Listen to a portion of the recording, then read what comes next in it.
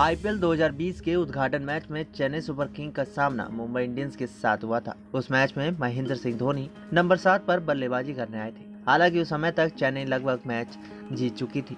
ठीक ऐसा ही धोनी ने आईपीएल के तेरहवे सीज़न के अपने दूसरे मैच में किया। जब टीम 200 से ज़्यादा रन का टारगेट चेज कर रही थी। धोनी दूसरे मैच में भी सातवें नंबर पर बल्लेबाजी करने उतरे। इसके लिए उनकी आलोचना हुई क्योंकि टीम मैच हार गई थी। राजस्थान रॉयल्स के खिलाफ 217 रन के लक्ष्य का पीछा करते हुए चेन्नई की टीम मात्र 200 रन बना पाई थी और मैच 16 रन से हार गई थी। चेस करते हुए आखिरी ओवर में धोनी ने तीन छक्के लगाए थे, लेकिन भारतीय दिग्गजों ने कहा था कि ये उनके निजी छक्के थे। इसका टीम से कोई भी लेना देना नहीं था। हालाँकि अब महेंद्र सिंह धोनी ने अपने आलोचकों को जवाब दे दिया है कि वो टॉप ऑर्डर में बल्लेबाजी क्यों नहीं कर रहे। धोनी ने दिल्ली कैपिटल्स के खिलाफ सीएसके के तीसरे मैच से पहले ये खुलासा किया।